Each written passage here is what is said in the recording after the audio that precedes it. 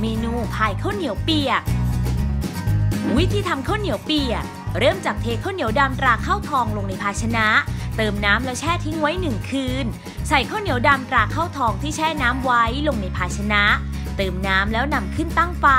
ใช้ไฟอ่อนต้มจนข้าวสุกและบาน เติมน้ำตาลทรายและเกลือป่นเสริมไอโอดีนคนให้เข้ากัน ต้มจนส่วนผสมเดือดอีกครั้ง เติมแป้งถั่วเขียวละลายน้ำคนให้เข้ากัน เคี่ยวต่อจนส่วนผสมสุกข้นแล้วปิดไฟ